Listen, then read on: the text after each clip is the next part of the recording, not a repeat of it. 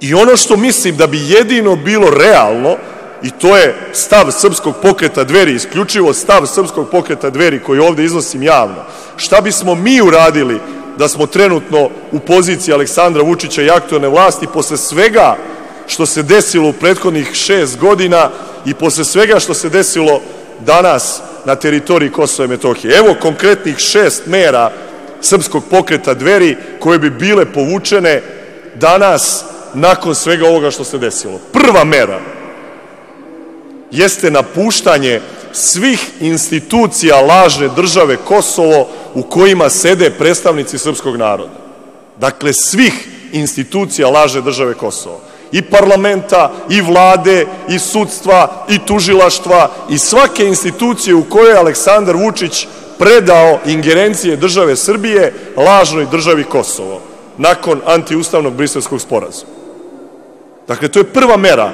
Ono što se jutro desilo na prostoru Kosova i Metohije može se nazvati i kao praktično sukob između koalicijonih partnera, jer su Srpska lista i Ramuš Haradina i Hašim Tači koalicijoni partneri u Skupštini i vladi lažne države Kosovo. Gde na svetu koalicijoni partneri pucaju jedni na druge? Samo na prostoru Kosova i Metohije. Prva mera, napuštanje svih institucija lažne države Kosovo. Druga mera, automatsko poništavanje briselskog sporazuma koji druga strana ne poštuje i koji je kršenje Ustava Republike Srbije.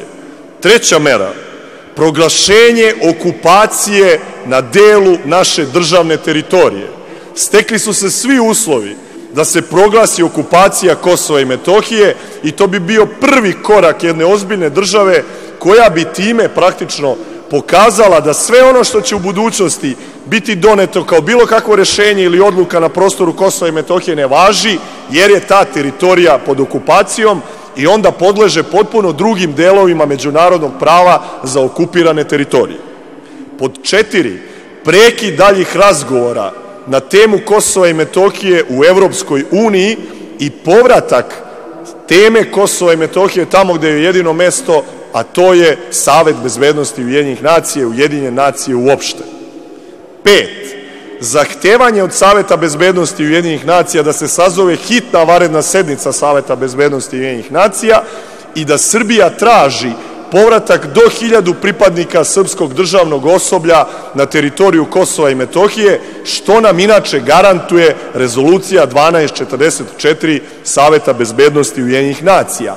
I šesta mera, poziv Ruskoj federaciji da se uputi ruska vojna misija u Srbiju, koja bi praktično bila garant bezbednosti i stabilnosti u jednom ovako složenom i teškom bezbednostnom trenutku koji trenutno nastaje i koji nas ko zna šta čeka u budućnosti, ne računajući naravno taj najgori scenario da je sve ovo režirana predstava koja će za nekoliko nedelja da završi potpisivanjem sporazuma sa Prištinom, takozvanim razgraničenjem i priznanjem nezavisnosti Kosova od strane vlasti Aleksandra Vučića.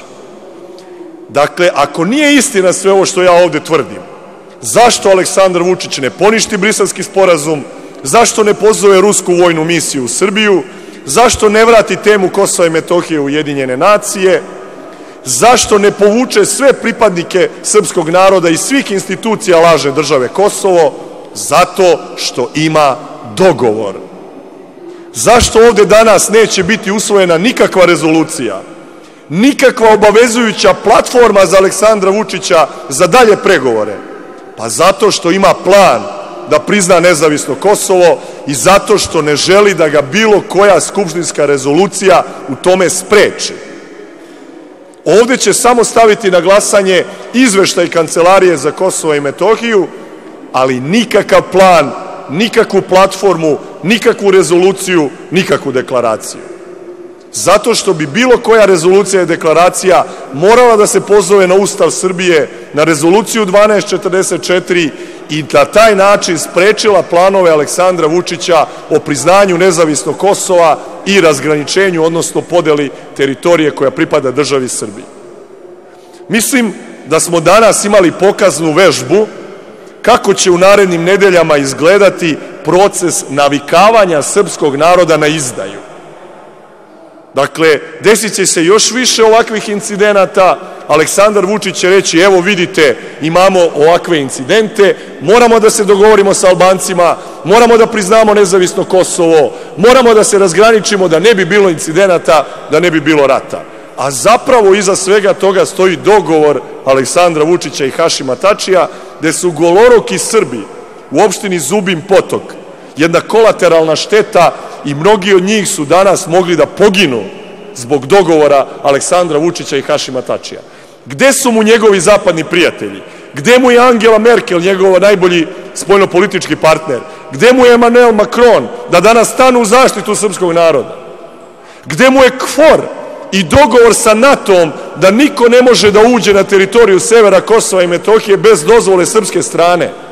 Sve su ga prevarili, sve su ga slagali, sve što je radio sa svojim zapadnim partnerima bilo je na štetu srpskog naroda i sada mu dolazi na naplatu. Zato vam kažem i ponavljam, Aleksandar Vučić je politički šarlatan, diplomatska neznalica i najgori pregovarač u novijoj političkoj istoriji Srbije, koji sve što je radio u poslednjih 7 godina na teritoriji Kosova i Metohije je poraz za srpski narod. Nema ni jedna pobeda, samo porazi u svim njegovim diplomatskim inicijativama i aktivnostima, pa i ovo jutros, gde ponovo ćuti, ne sme da pošalje srpsku policiju i vojsku na sever Kosova i Metohije da zaštiti goloruki narod, već ovde sedi u ovoj psihoterapiji koja treba da traje dva dana da bi on mogao iznova da bude na svim televizijama u Srbiji. Ovaj čovek, ovo lice, ovo je šarlatan, ovo je politički slepac koji vodi srpski narod i državu u jednom katastrofalnom stanju.